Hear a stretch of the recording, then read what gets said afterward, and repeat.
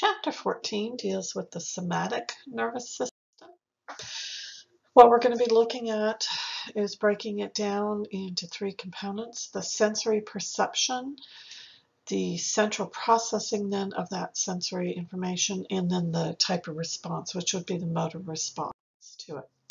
So with sensory perception, we're talking about a stimulus that activates a receptor cell. It's very specific. So if the receptor detects cold temperature, it will not detect hot temperature. Uh, if it detects very light touch, it doesn't detect uh, deeper vibrations or deeper pain. So they're, they're very specific in what they can detect. The receptors can be classified by their structure, by their function, or by their location know we like to have different ways of classifying.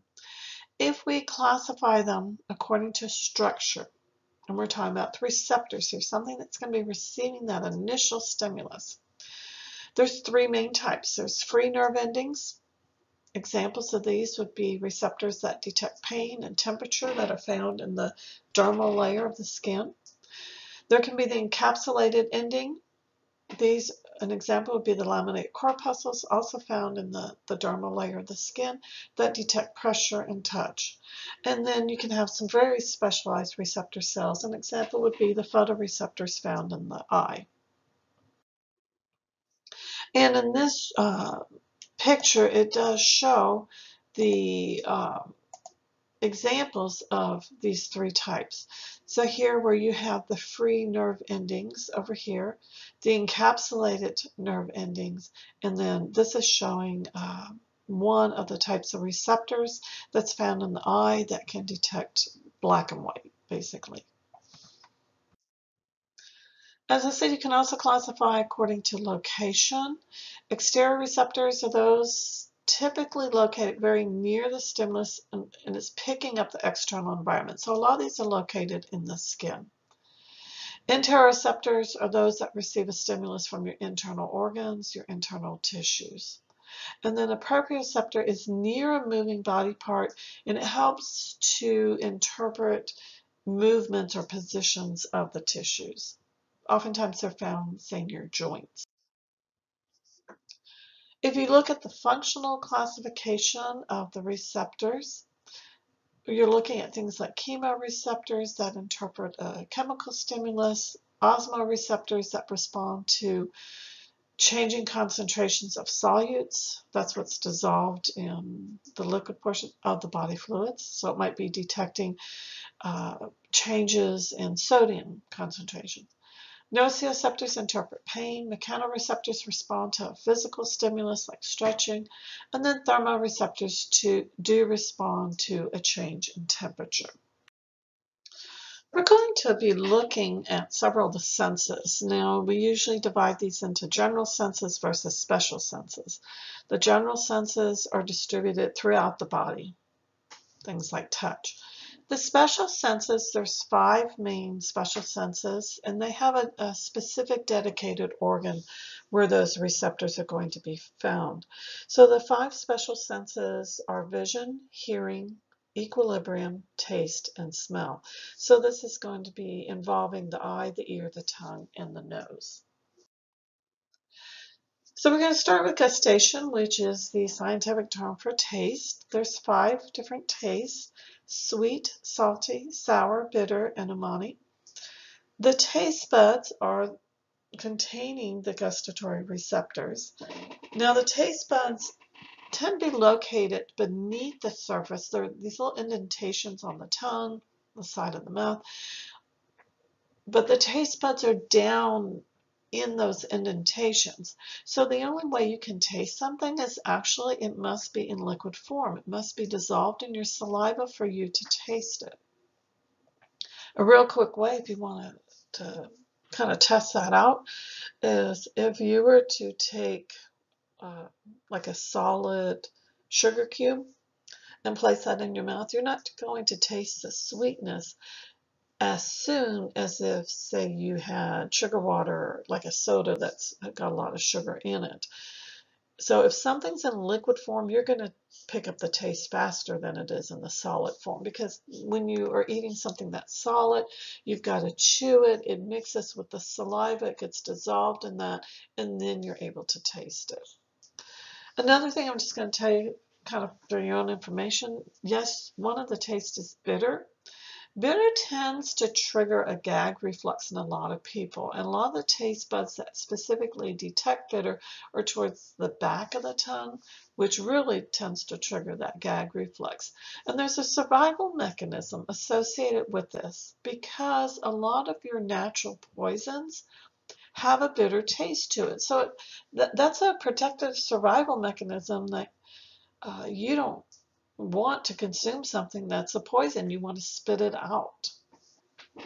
So foods that do have a bitter taste, oftentimes in the, the preparation process, we naturally tend to sweeten it up to make it easier to taste.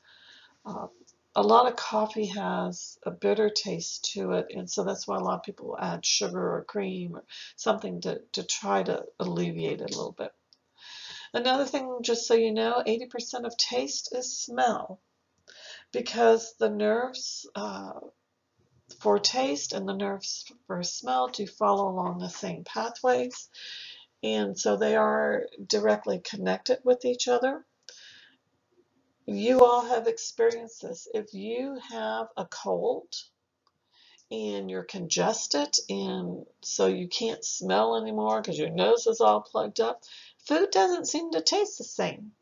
You're preparing it the same way, but what's happening is you can't smell it. So to you, it's like, well, this just doesn't taste the same. It's that association between them. The other thing is, I would challenge you.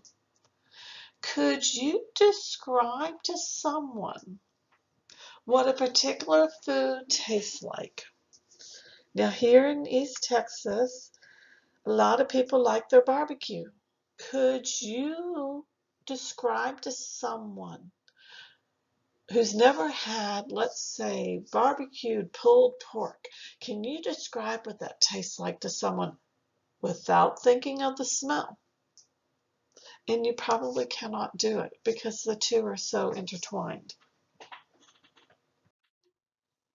This is showing over here the um, on the tongue where you have got your your taste buds. They're for the different tastes. They are located in different areas of the tongue. So there's different types of these taste buds, but the bottom line is look over here. You can see that the the taste buds, as I was saying, they're down beneath the surface. They're not right on the surface of the tongue. And I will say too, the tongue, the cells on the tongue do regenerate fairly quickly, and everybody's aware of that also because um, a lot of us are very impatient when we're hungry. And for some reason, it always seems like with pizza that you're a little impatient and you're so hungry, and you know you just took that pizza out of the oven. You know that it's hot but what do we still do? We take a nice big old bite of it, and oh, that nice gooey cheese, that is so hot. It burns. And you end up burning some of the cells on the surface. But they re do regenerate. They're epithelial cells. They regenerate very quickly. So within a few days, yes, your uh, tongue initially was sore because you burnt it on the hot cheese. But in a few days, it's back to normal and we're creatures of habit and never seem to learn because say a few weeks later when you're hungry and you have another pizza, we do the exact same thing again. Olfaction is smell. It is a response to a chemical stimulus. The olfactory receptors are in the superior nasal cavity, so up at the top of the nasal cavity. Nerves are going to pass through the limbic system, so that's why you have an emotional connotation with smell. Maybe good, maybe bad, but you, you tend to have some emotional association with various smells. When you sniff, that's increasing the amount of air into the nasal cavity, allowing it to swirl around more in that upper nasal cavity where the receptors are, so you have a better chance of stimulating them.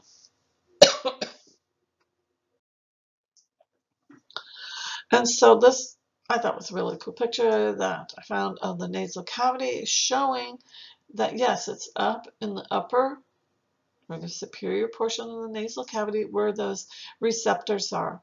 And those receptors then um, are attached, they'll stimulate the olfactory bulb and send the process or start the process of sending it to the appropriate area of the brain. And this is just another uh, picture of the same thing showing the nasal cavity. And you notice here in the upper nasal cavity, you have these ridges. The purpose of those is to help swirl the air. So when you take in a big breath, you're sniffing something. So you, you take in a big gulp of air, it's going to swirl around in the nasal cavity. That increases, as I said, the chance of stimulating these nerve endings, which are the re olfactory receptors. It's also, in terms of breathing, going to help uh, moisten the air, adds humidity to it, uh, and it also warms it before it goes down into the lungs. And then here's the olfactory bulb right there. Just a little different perspective. Audition, which is hearing, this is going to involve the ear. The ear is divided into three sections. We have the external ear, the middle ear, and the inner ear. Now, the purpose of the external ear is to direct the sound waves into that auditory canal or the ear canal. The middle ear is supposed to amplify those sound waves, and then the inner ear converts the sound waves into that neural stimulus. That's where the receptors are going to be, is in the inner ear. The eustachian tube, which a lot of you, most of you hopefully have heard of, and some of you may have unfortunately had some experience with it, that connects to the middle ear. Basically, it's a tube connecting the middle ear to the pharynx. It's supposed to help equalize uh, the pressure. So if we look at the ear, the external ear is what you see outside of the body. This portion is known as the auricle. It's also known as the pinna. So you can use either term. And then your auditory canal, your ear canal, which, by the way, you are not supposed to be sticking anything in there. Uh, there are cells that will produce wax to help clean out in the, it's supposed to naturally flow out. Some people better than others, but you are not supposed to be sticking things in the ear canal.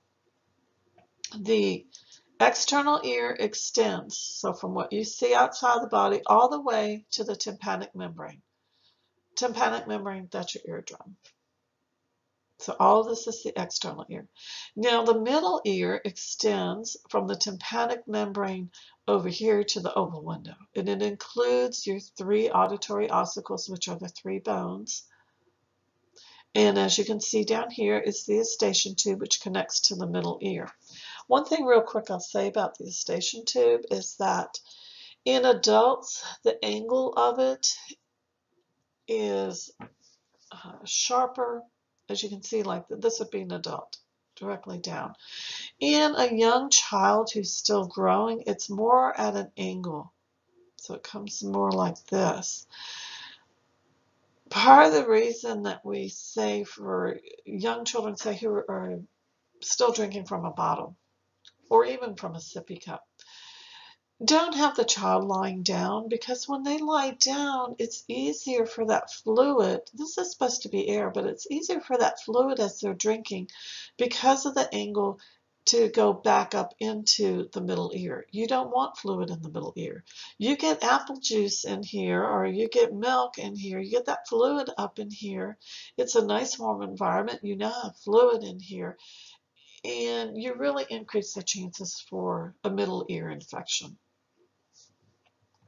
So uh, normally this is somewhat close, but whenever you swallow, when you hear that, that popping noise, it's basically equalizing the pressure here.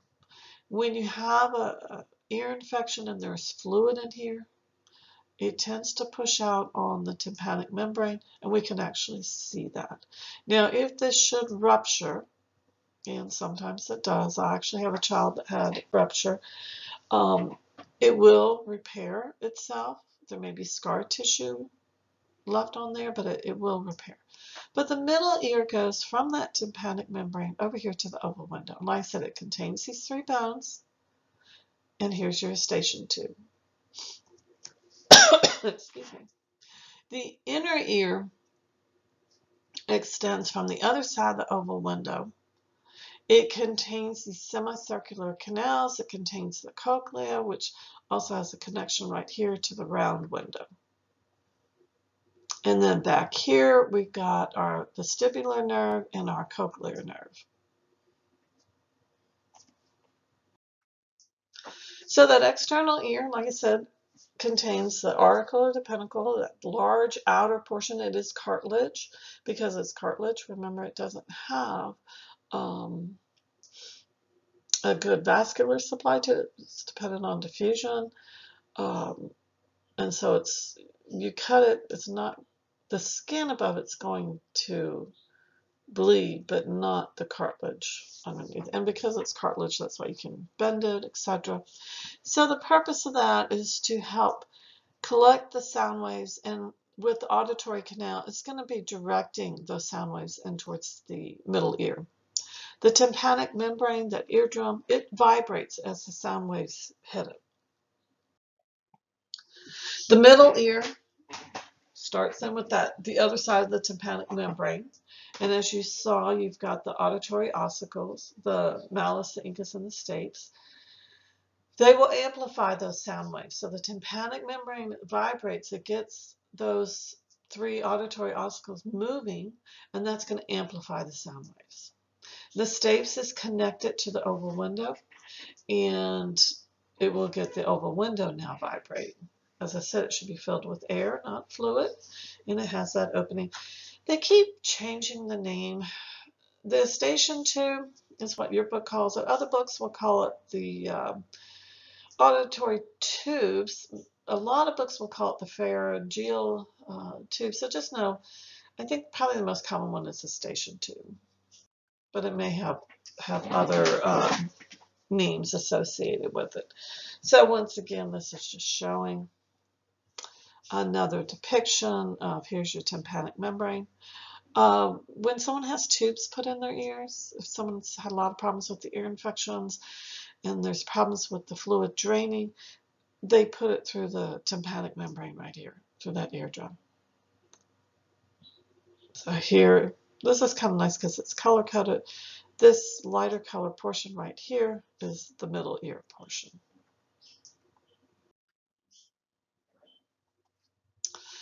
And now we're going to be moving to the inner ear, but this uh, one right here is a good picture showing the three bones, the malleus, the incus, and the stapes. The inner ear is sometimes known as the bony labyrinth because it has uh, a series of canals, but it's embedded in the temporal bone, so it's canals in a bone. It's composed of the cochlea and the vestibule.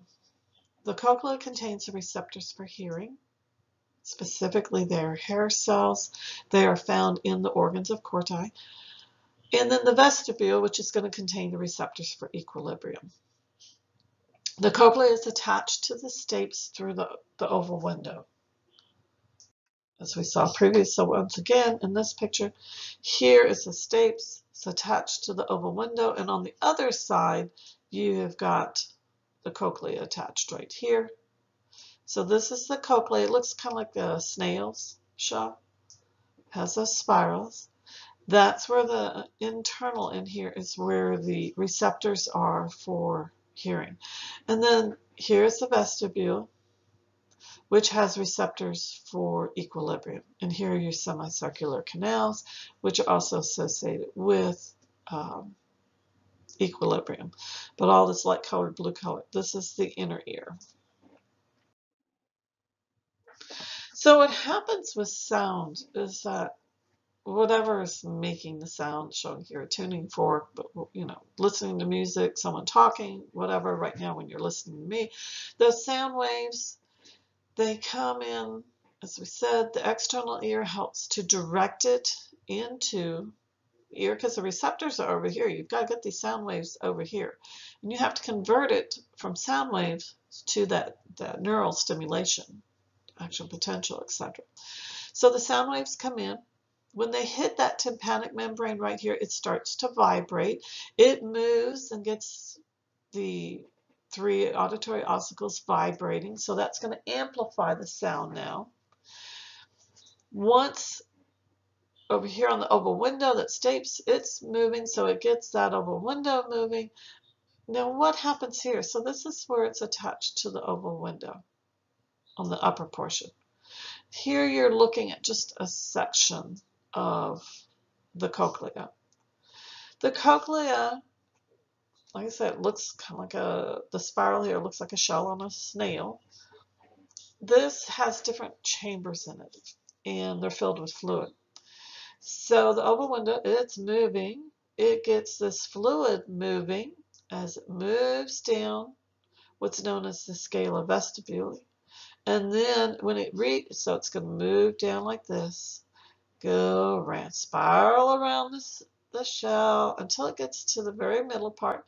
Then it's going, at the very end, it's kind of like a U-turn in there, and it's going to, oh, here we go around. Now on the way back, it's called the scala tympani. And so there's vibrations in that fluid that's now coming back around. And when it comes back around, it'll finally hit the round window. But while it's moving, those vibrations are moving through that uh, fluid that's in the cochlea. There's different areas where it's going to uh, stimulate what's known as the basilar membrane. And that's connected to the organ of Corti, which has the hair cells in them that are the receptors for hearing. So this is another uh, depiction of it. So you've got your, eardrum, here it goes, vibrating the bones, which vibrates the oval window. Here we go, down around. When it reaches the end, we're in the cochlea now. It's now going to move around, come out, and vibrate at the round window. The round window is going to be moving in response to this vibration. And then between these, these two layers here, these two openings or canals, this internal canal here, that has the organ of Corti in it. That's where the hair cells are. So as these vibrations pass over, it's, it's triggering movement of those hair cells. And that's what's stimulating um, and causing those receptors to be activated so that you hear sound. So the sound wave funnels into the auditory canal. Amplification occurs in the middle ear. The vibration of the stapes, that last of the three auditory ossicles in the middle ear, causes vibration of the oval window.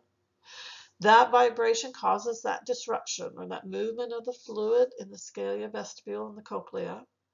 The fluid vibration then causes disruption of the fluid as it goes around the end of the cochlea internally, does a little U-turn. Now it causes disruption of the fluid in the scala tympani, still in the cochlea. The membrane of that round window is going to move in response to that fluid movement.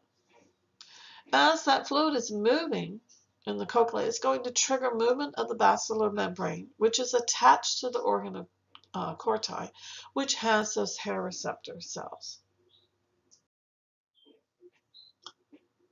So here's where your fluid is moving. First through here, then rounds a corner, it's moving back out through here. Right here is that basilar membrane. And the cochlear duct, this is a third opening, if you will, that has now the basilar membrane right here. Here's the, uh, the organ of Corti has the hair cells on it. That's going to stimulate those hair cells and generate an action potential and boom, send it down along the cochlear branch of, um, remember that's one of your cranial nerves. The vestibular cochlear, the vestibular uh, nerve and cochlear one will merge together. And then that is sent uh, to the, the auditory section, which typically is located, most of it is in the temporal lobe of your cerebrum. Now, equilibrium is another one of your special senses. Uh, the receptors are also found in the ear, specifically also in the inner ear, but in the vestibule. For equilibrium, it helps you to sense what your head position is, if there's any movement of the head, and also where the body is relative in motion. Is it still, is it moving, etc. For detecting the position of your head, it is going to involve uh, components of the vestibule, the saccule The head movement is involved with the semicircular canals. There's three different ones of those. So this here's your cochlea that we saw for hearing. And so the vestibule right here is for the equilibrium. You see these two inner components. And then your three semicircular canals. So for your head position, excuse me, um, that's going to be with the vestibule as to whether your head is upright, is your head tilted, and it has to do um, with both, as I said, the macula and the utricle as far as there's little calcium deposits and the position of those with the hair cells. Are they being moved or not? And then the head movement, whether you're rotating or not, that has to do with the semicircular canals. Somatosensation or touch, this is one of your general senses, so the uh, various receptors are going to be located throughout the body. This picks up things such as pressure, vibration, whether you have an itch, whether it's pain, whether it's light touch, whether it's temperature, and they're very specific whether for all of these um, cold temperature, hot temperature, etc. And this table just shows some of the different types of the names of, they're usually mechanoreceptors that are picking up these various touch sensations, where they're located, what stimulates them. Vision. Excuse me. The receptors are located in the back of the eye, in the retina. Uh, for vision, it's going to involve your eye. We also look at your eye muscles, and we also look at some of your eye accessory structures that are there to help protect the eye, such as your eyelids, your eyelashes, the lacrimal apparatus, which is the gland that produces uh, tears. Tears uh, help keep your eye lubricated, keep it moist. Tears also have certain chemicals in them that are very protective. Um, they will kill microorganisms. So it prevents the entry of microorganisms through the eye. So when you look at uh, this diagram, side view of the eye, you can see that most of the eye is actually within that orbital, within that space that's protected by bone. You've got a lot of fat around it. All of this is to protect the eye. You are only actually seeing a small portion of the eye. Your eyebrow and your eyelashes, um, they're supposed to help keep debris and things out of the eye. Sometimes I think your eyelashes cause more aggravation than protection, but that's what they're there for. Your eyelid, as everyone knows, your upper lid and lower lid, they're going to close whenever anything comes close to the eye, once again as a protective mechanism. Uh, the lacrimal apparatus, like I said, that is for producing tears to help lubricate. Every time you blink, it does provide that fluid over the eyes. And then here you can also see a lot of the uh, muscles, the external muscles uh, that are helping to move the eye. And this view right here, this is your optic nerve. So that's the nerve that's leaving from the back of the eye. Excuse me with your eye muscles, there are actually six of them. They, uh, you can see them here and also from this view. The eye muscles are helping to move the eye uh, sideways, up and down, kind of a little bit at angles, etc. Um, some people will have some issues where maybe on one side the muscle is weaker than on the other side and what happens then is the eye tends to drift off center um, one direction or the other. They can tell by which way it's pointing which muscle is the weaker one. They will usually try initially to uh, do exercises to try to help strengthen the, the weaker muscle. Uh, sometimes they will put a patch over the good eye to force the weaker eye to move more and try to strengthen that muscle. If that does not work, they can always do surgery. Uh, it's re usually referred to as lazy eye, and they they can do surgery to correct that. Uh, they can do it at a very young age, detected early. Um, it's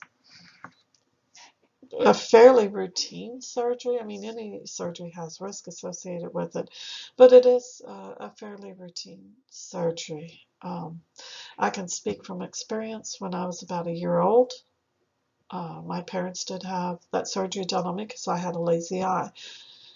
Those people who know me now um, have no idea. My family's the only one that knows that I had the surgery um, because you, you really can't tell.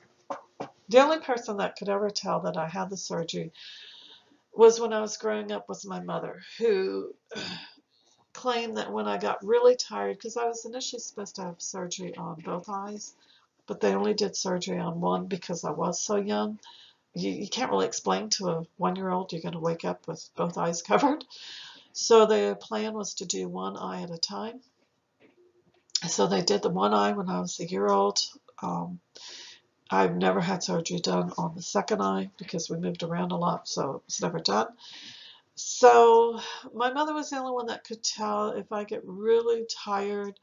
Um, I could never lie to her that I wasn't tired because she'd always tell me to look her straight in the eye and she could tell the eye that did not have the surgery would start to drift off.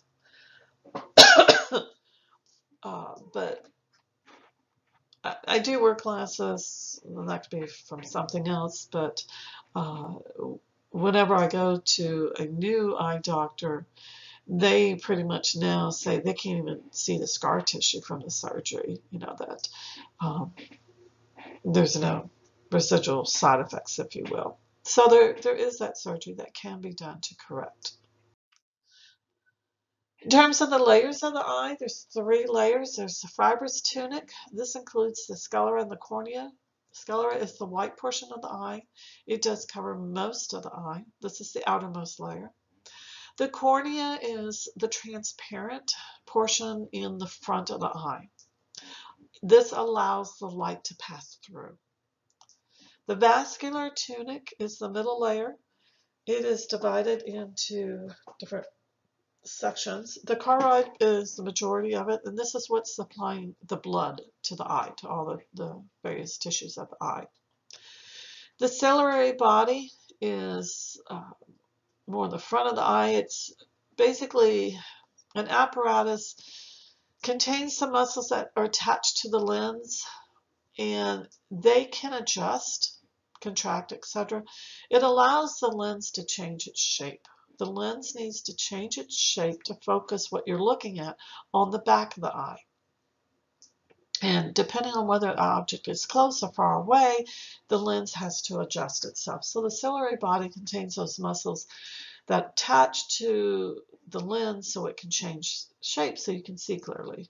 And then it also includes the iris. The iris is a smooth muscle. It's going to regulate the amount of light entering the eye. How? Because it's a circular muscle in the middle of it is an opening. That's the pupil. That's the black of your eye. That's where the, the light is entering. So the iris, that smooth muscle, it is color. The color of it is determined genetically. Uh, so when someone says you have blue eyes, that blue, that's the iris. Or brown eyes, that's the iris.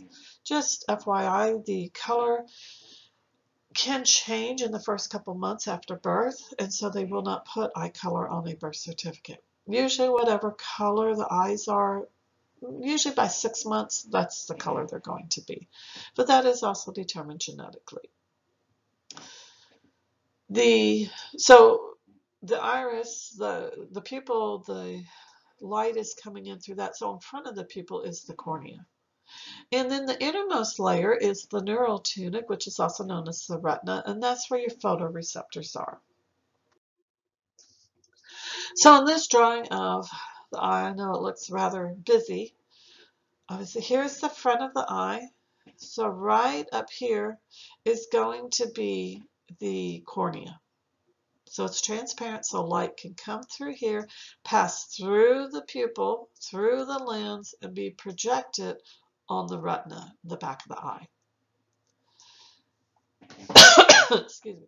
So here you're going to have your iris, that smooth muscle in the middle, that opening is going to be the pupil. Right behind it is the lens. And I said this is what has to adjust uh, the shape to put the image on the back of the eye. This should be relatively clear. If it becomes very cloudy, that's what cataracts are. And then you have to replace this because the light has to pass through it. So if it's cloudy, you're not going to have um, nice clear vision with it. Here's part of the ciliary body that's holding it, those muscles holding the lens in place and adjusting to the shape of it. And then here you can see the different layers. So the cornea is in the front, but most of that outermost layer is going to be the sclera, and then you've got the choroid layer providing the blood supply, and then the retina. The retina, as I said, contains the uh, photoreceptors. You can see right here is the optic nerve and some of the muscles as well. Now the eye has two basic cavities. The anterior cavity, as the name implies, is in the front. It's between the cornea and the lens. It's filled with aqueous humor that is recycled. The posterior cavity, as the name implies, is in the back of the eye. So it's behind the lens all the way to the, the back. It's filled with vitreous humor. This is not replaced this is something that they will often, especially as you get older, if you have certain medical conditions such as diabetes, they can measure the pressure of the vitreous humor uh, because certain disorders and diseases can affect that. And so in this picture, it's just showing the uh, aqueous humor that's found in that anterior cavity and then the posterior cavity back here behind the lens filled with the vitreous humor. The retina, as I said, contains the photoreceptors. There's two types. There's rods and cones. The rods allow you to see in black and white. They also are much more sensitive in very dim light, which is why when it's dark, uh, it's easier to see those black and white features than you can in, in color. The cones allow you to, see in color. There's actually three different types of, of cones. Um, they are more sensitive in nice bright light. In the retina, there's also bipolar cells. Ganglion cells is another layer of cells. and in a moment, I'll show you the orientation of them. The axons from the ganglion cells, they're all going to converge in one spot. It's called the optic disc, and then it leaves the eye as the optic nerve. In that optic disc area where all those axons from the ganglion cells are converging, there are no photoreceptors, it's just those axons, so that's actually a blind spot. Why? Because there's no photoreceptors there. And the fovea is the exact center of the retina. And in this drawing, excuse me, so way up here you can see right here is where the optic nerve leaves. So that's where those, all the axons come around and they all congregate here, converge. Uh, this would be the optic disc, so there's no receptors there, and it leaves as the optic nerve. If you were to take a point here and go directly back center, that's the fovea. Now, when you look at the retina, down here at the bottom would be the internal part of the eye. Up here, these cells would be right up against the choroid layer, the middle layer. But this is the retina. So the light is going to come into the eye, it's going to pass through these cells here. These right here are the photoreceptors. These are your rods and your cones. So you've got your rods, you've got your cones. Rods, remember black and white, cones see color. So the light comes back through here. It stimulates these photoreceptors, the rods and cones, which then stimulate the bipolar cells, which then stimulate the ganglion cells. And where do all the axons of these go? They all converge here and leave us the optic nerve. And this is just showing here is the fovea.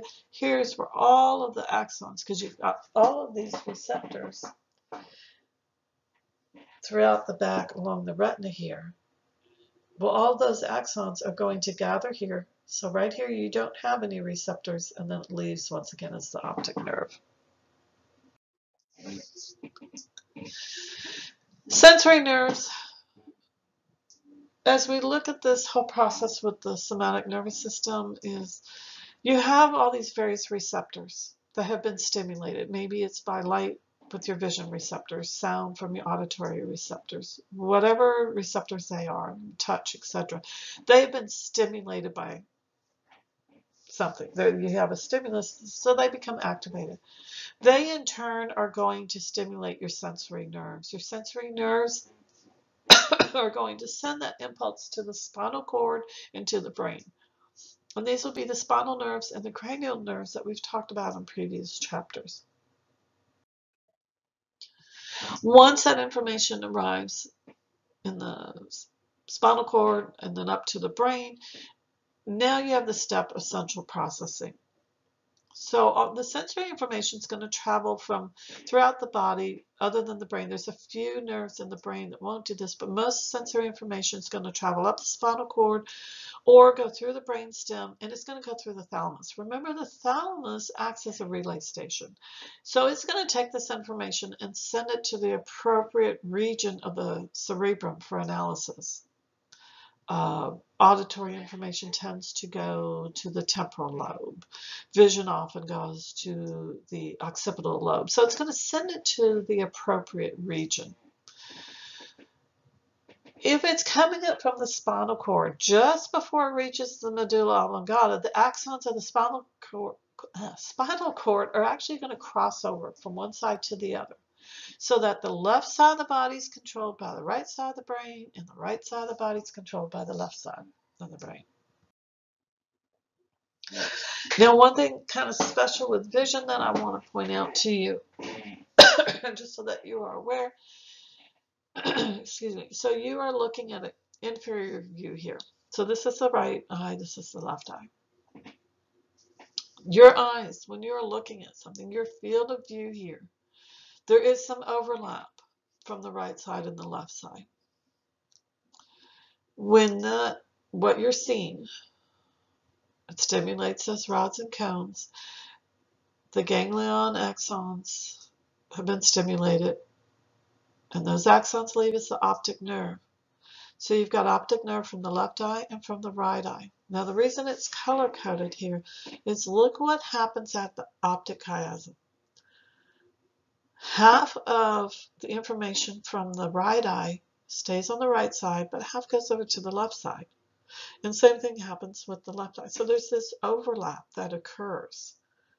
Now they're both going to end up back here uh, in the cortex area for vision, for analysis.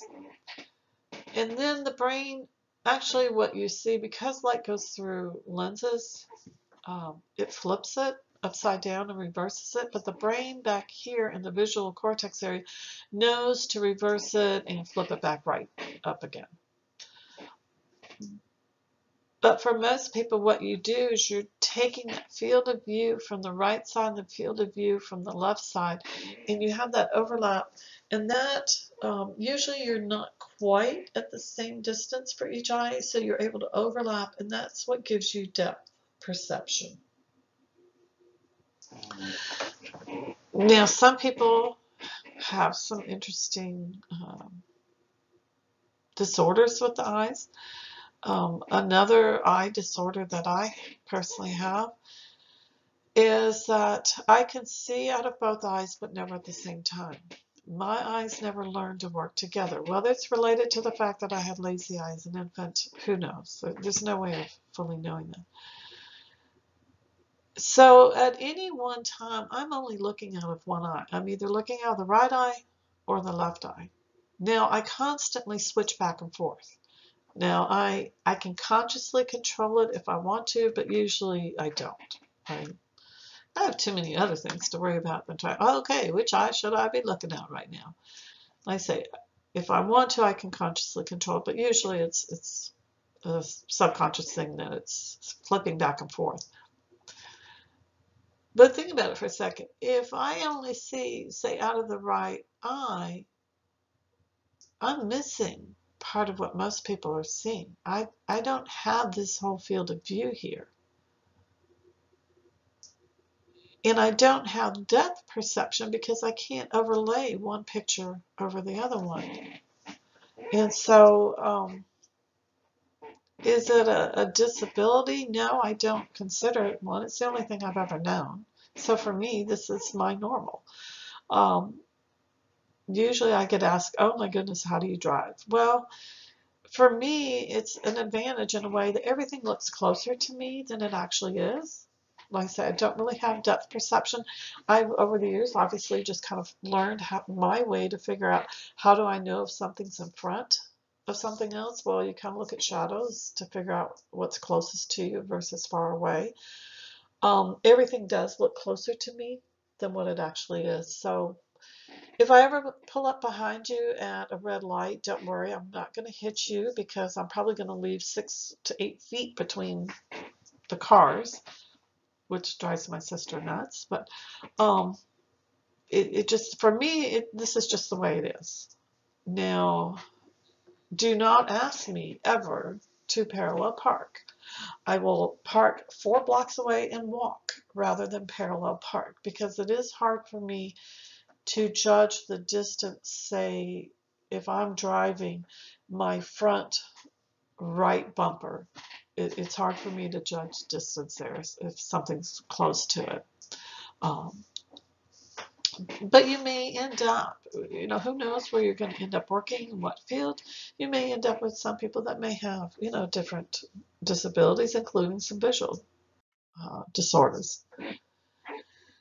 So you've got the sensory response, you've got the uh, processing of that information so that sensory information was sent to the central nervous system, got analyzed, sent to the appropriate information. Now, it has to determine if there's a response.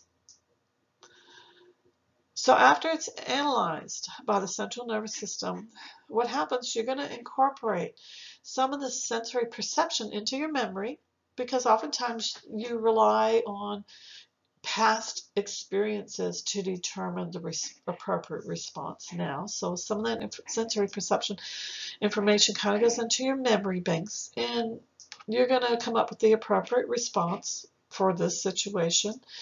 Motor uh, controls are mostly going to be controlled by the frontal lobe. And it will send that information down to typically one of the skeletal muscles to respond, contract or relax, depending on what the situation is. Often involved with this will be reflexes. Reflexes typically are a subconscious, involuntary response, even though it's involving skeletal muscles, which are voluntary. So some people say, well, how can it be involuntary? It's voluntary muscles. Well, sometimes your muscles move without you thinking about it. For a reflex, what happens is the receptor is going to be stimulated. The sensory neuron then is activated by the receptor. An interneuron then is activated by that sensory neuron. It can either be in the spine or the, the brain. The motor neuron then is activated by the interneuron and you get your response. And like I say, it's going to involve skeletal muscles, which are voluntary, but that response is very quick. Um, and some of them are more complex than others. It may be where uh, you put your hand on a hot burner and the response is, oh, that's hot. Message is sent up to the brain, hot, move the hand, so you move the hand. Some of them are more complex where, say, you're walking and you step on something sharp with your right foot. Now you can be thinking, okay, so the message is sent up. Ooh, that hurts, goes up to the brain that hurts, I need to move my right foot. Well, Yes, but it's going to be a little bit more complex than that because if you're, say, walking and you put your right foot down, if you continue to walk, you've taken your weight off your left foot, correct? And if you now move your right foot, you're going to end up on your backside. So at the same time, what you have happens is information goes up pain in right foot, move right foot, but at the same time, you need to put left foot down, shift your weight to your left foot so that you don't end up falling. And that has to be timed. Shift the weight to the left foot before you lift up your right foot. So some of your reflexes are fairly simple, some of them are more complex.